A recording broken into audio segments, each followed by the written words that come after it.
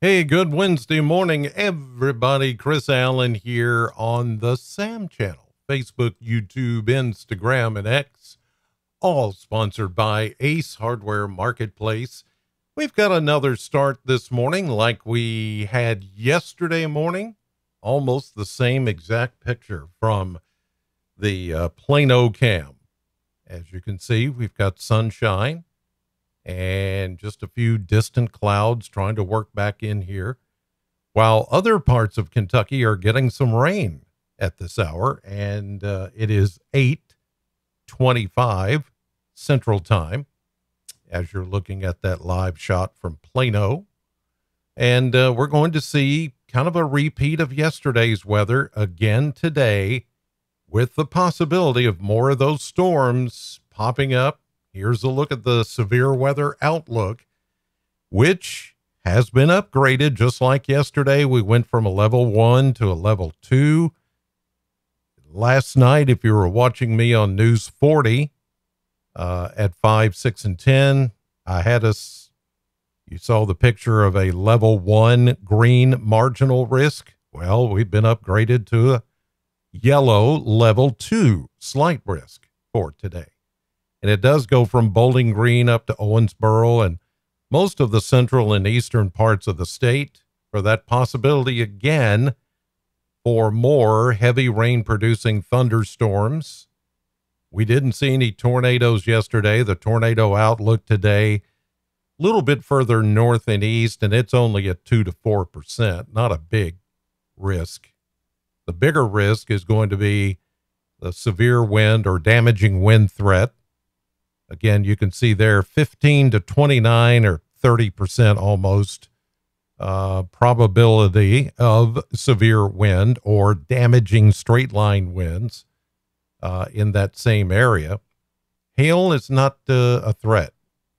Uh, there you see the hail threat is going to be back here a little bit more into Missouri, Iowa, Illinois. Uh, not so much here in southern Kentucky. And tomorrow, which was supposed to be rain free, has now gone back to showers and thunderstorms with a level one marginal risk for the first day of August, with the level two risk being across northern Kentucky, parts of Illinois, Indiana, and Ohio. And it looks like we may get another little round of thunderstorm activity as we get into the day tomorrow. So uh, this is almost a relentless pattern that we've been in and will continue to be in for at least a couple of more days before we start to see a break in some of this rainfall activity. And we will get a break. It's just right now kind of hard to shake off this uh, pattern that we've been in and will continue to be in for a while. Here's a look at Baron radar this morning. We uh, zoom it in and you can see heat advisories back to the west of Bowling Green. Here are those thunderstorms that are ongoing this morning in parts of central and eastern Kentucky. You can see all those are uh, making that dive off to the south and east. We're not seeing anything here in Bowling Green or southern Kentucky. Let's look upstream. Oh, here we go again.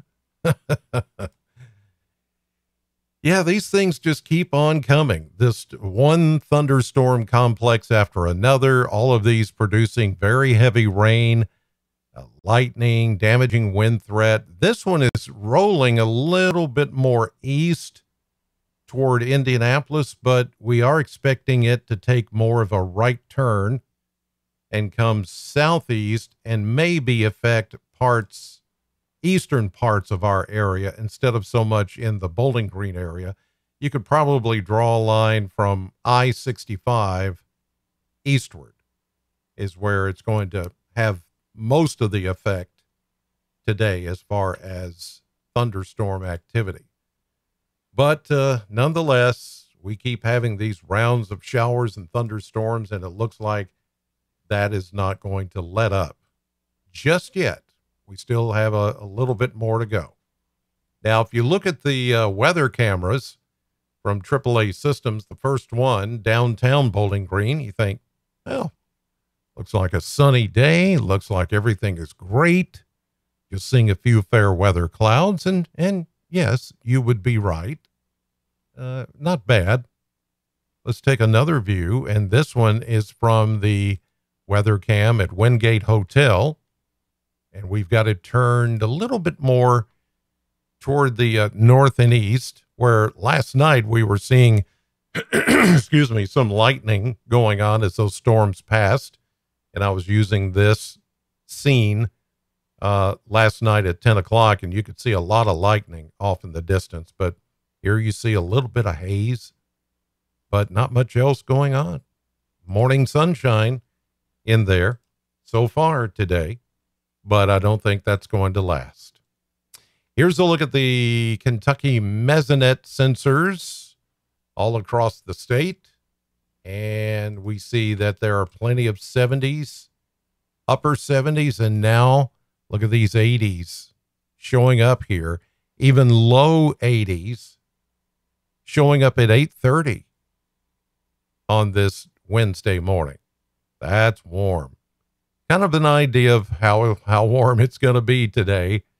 Uh, it's going to get there. It's going to get there pretty quickly, with the dew points also being in the 70s, even mid 70s and upper 70s to the west of us. That means the relative humidity is close to 90 to 100%. In fact, it is 100% in a spot or two, upper 90% humidity, even here in Bowling Green, 90% relative humidity. That's a lot of soggy air. So, um, how much rain? Well, the past 24 hours, the heaviest rains have been up in Ohio County, where they picked up over two inches of rain. And that was in a short amount of time. Inch and a half there in Grayson County near Leitchfield, little bit more than that in Munfordville. Uh, we see an inch and a third down in Tompkinsville, Monroe County. Anywhere from three quarters of an inch to a half inch here in Bowling Green and surrounding areas. So we've had some pretty good rainfall right there in that arc you can see, and that's when those thunderstorms came rolling by yesterday afternoon and evening. Winds are out of the south and west, just like yesterday, at about 5 to 10, with uh, some gusts 13 to 15 miles per hour at times. But it's a warm, soggy wind, a very humid wind, and it's going to be just a sticky, sticky day across the area. And then when you get the rain, it just feels more like a steam bath, like a sauna, like a sauna up in here. All right, here's a look at the model blender. And we've got uh, 90s continuing until Saturday when we see the passage of a cold front.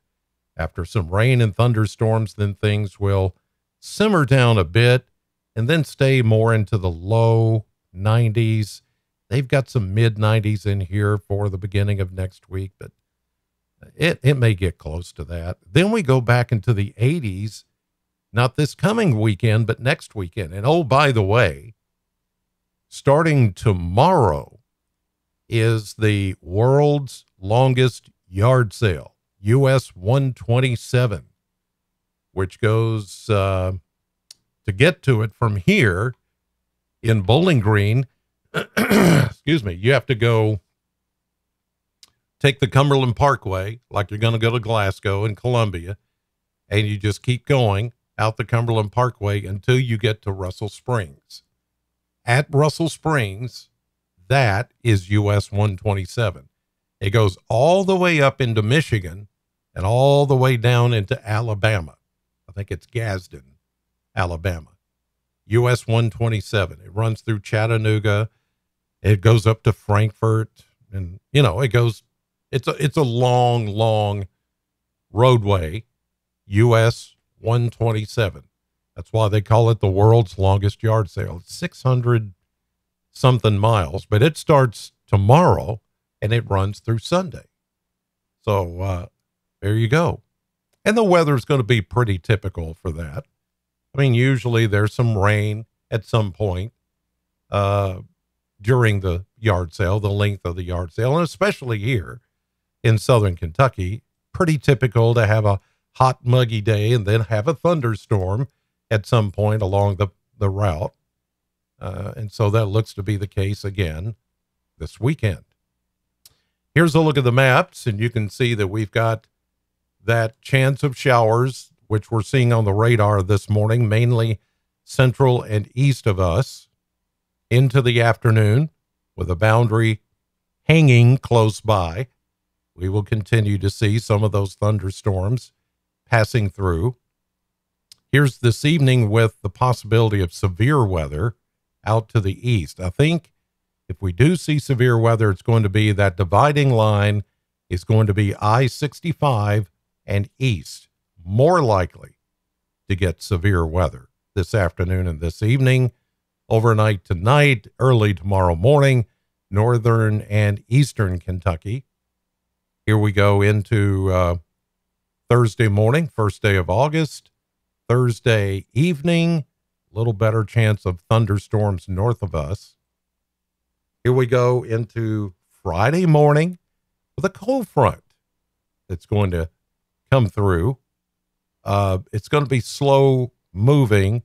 So Saturday morning, there will still be a few leftover showers and thunderstorms. But after that, this is when we kind of cool it down into the upper 80s that you saw on the model blender uh, for Sunday. But then as we get into next week, even though high pressure is going to be here, I do think we're going to see a return for showers and thunderstorms as uh, we get this cold front coming in, even though it's not all painted in here. We're going to get a, a bit of a break from the stormy weather and the persistent rains, uh, but it's it's not going to stay that way. So uh, heat, humidity, showers, thunderstorms, Yesterday's high was 90. That's exactly where we should be this time of the year. And they picked up 51 hundredths or a half inch of rain at the airport yesterday. Today I'm going with 93 with uh, that chance of showers and thunderstorms uh, really anytime, but more so this afternoon and even tonight for some of you. Okay, in the chat box this morning, Iffy Connie, Tony, Sandra, Gail, and family, Eric, Chris D. Also, uh, Wanda, Wolf Girl, uh, Pamela, Gretch. Good morning, all of you. Have a great Wednesday. Thank you for watching as always.